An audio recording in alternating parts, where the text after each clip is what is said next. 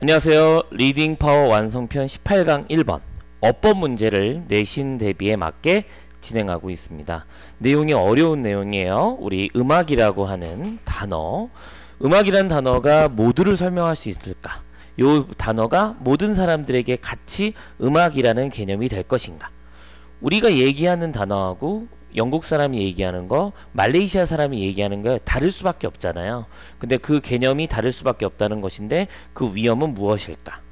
이글 자체가 갖고 있는 구조는 문법적인 것이 상당히 어렵고 좋은 문장들이 많습니다. 먼저 이제 먼저 체크를 좀 하면서 시작하면 일단 교재 잘 보세요. 첫 번째로 여기 나와 있는 강조 구문이 먼저 나와 있습니다. 강조 구문이 포함되어 있는 문장은 시험에 낼 수 있는 여지가 상당히 많은데요. 특히 동격의 대과 관계대명사 그리고 또 어, 강조 구문의 일부이면서도 오형식 문장 그리고 또 that절 여러 가지 자동사 능동 능동 수동 등의 여러 가지 시험 포인트가 나오거든요. 그래서 이 빨간색 문장은 이 시험 문제에서 practice 1번을 문제에서 학교에서 낸다면 반드시 외워 두셔야 됩니다. 만약에 학교에서 아 우리는 리딩 파워는 어, 뭐 문법으로는 내도 잘 안 낼 거야. 서술형으로 내지 않아. 그러면 깔끔하게 외우지 않으셔도 괜찮습니다. 왜냐하면 이 글 자체가 문법이니까 다시 문법을 내기는 좀 힘들다고 볼 수 있거든요. 그럼에도 불구하고 만약 학교가 그런 힌트를 주지 않는다면 이 지문의 이 문장은 반드시 외워두시는 게 훨씬 좋겠다. 미리 말씀을 드립니다. 문장은 맨 마지막 문장에 나와 있는 빨간색으로 적혀 있는 이 문장은요. 여기 이디스하고 that 요 두 가지를 통해서 강조 구문 형상화 시키고 있습니다. 칠판 이쪽 보시면요. 이디스하고 that이 나오면 이 중간에다가 강조 대상을 넣어 두고요. 그리고 여기 뒤에는 나머지 문장을 문장에서 배치를 시키게 됩니다. 해석을 하실 때에는 나머지 문장을 먼저 해석해 주시고 두 번째로 강조 대상을 해석해 주면 되죠. 그래서 1번은 2번이다 라고 해석이 되는 건데 2번 앞에 바로 이렇게 써주면 훨씬 더 강조해 주는 표현이 되는 겁니다.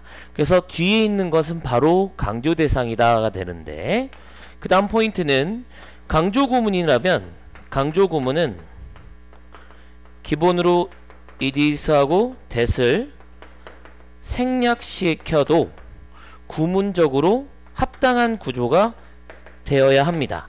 그러니까 이디스 대은 이렇게 빨, 분홍색으로 적은 걸 없앨 수도 있는 거죠. 우리 교재 칠판에 스크린에 나와 있는 이디스 대을 없애면 문장 구조가 The fact that we call them all music makes it seem obvious 이런 구조가 되기 때문에 우리가 그것들을 음악이라 부른다는 사실이라고 해석이 돼서 그런 사실은 그것 즉 음악을 그것들이 함께 모여 있다라고 생각하게 만든다라고 볼수 있다는 거죠.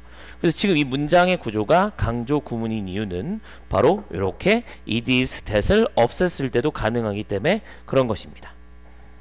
그런데 강조 구문을 한 바퀴 좀 더 들어가 보면요. 한 발짝 더 들어가 보면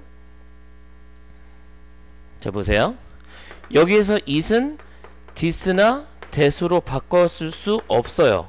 원래 강조 구문이라고 하는 것은 이때 강조 구문이라 얘기하죠. 그래서 여기 뒤 앞에 있는 it은 아무 의미가 없고 해석이 되지 않는 녀석이면서도 디스나 댓 같은 단수의 대명사로 바꿔줄 수 없습니다.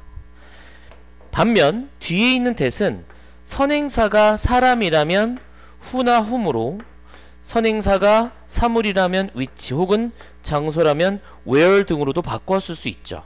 그렇기 때문에 우리 이 글에서는 위치를 썼어도 큰 문제 없이 틀린 문장이 아니다 라고 얘기를 할 수 있을 겁니다. 왜냐? 앞에 나와서 다시 보시면 강조 구문은 바로 더 팩트라고 하는 동격에 대해서 설명하고 있는 바로 그 절이기 때문에 그렇죠. 이미 선생님이 설명을 해버렸네요.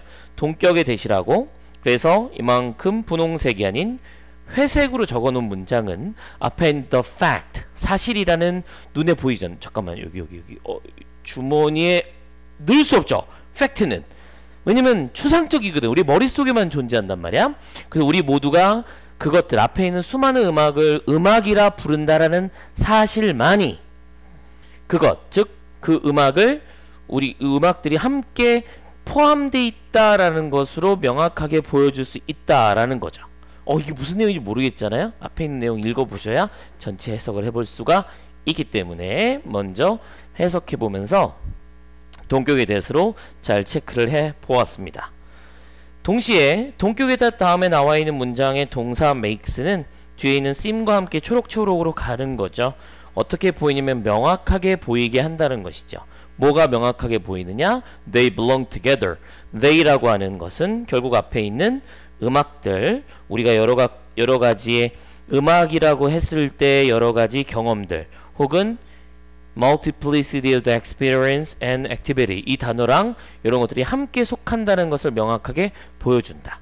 즉 말레이시아 사람이 음악이다 라고 하고요. 영국 사람들이 음악이다 라고 하고 우리가 판소리 들으면서 음악이다 라고 하는 것 자체 그걸 음악이라고 부른다는 유일하게 그 사실만이 그 음악이 함께 하고 있다 라고 하는 것으로 보여지게 유일하게 만드는 사실이다 라고 적혀 있는 거죠. 그러니까 어찌 보면 이거 음악 아닌데? 라고 하면 음악이 아닌 거예요. 어떤 사람은 저 음악 아닌데? 라고 하면 음악 아니구나 라고 생각할 수 있다는 사실인 겁니다. 예를 들어 마당놀이 혹은 우리나라의 그 농악 같은 거 깨갱 깨갱 깽 깨개갱 그것이 아뭐좀 소음이야 라고 얘기할 수 있겠죠. 어떤 뭐 클래식한 음악을 하는 사람이 힙합 음악을 보고 전 음악이 아니다 라고 얘기할 수도 있어요. 근데 우리는 대부분 그걸 음악으로 받아들이죠. 소리를 이용하면 다 음악이라고 생각하잖아요. 그죠? 그런 것이라 생각하는 것 그 사실만이 우리가 모두를 그것들을 다 음악이라 부른다는 사실만이 우리가 그 음악들이 함께 하고 있다라고 하는 것으로 받아들이게 하는 유일한 사실이다라고 적혀 있는 것이죠. 자, 제일 어려운 문장부터 먼저 해석을 해봤는데요. 그걸 바탕으로 위에 올라가서 진행을 해보려, 해보려고 합니다. 자, 위에 올라가서 같이 해볼까요? 뮤직 출발합니다.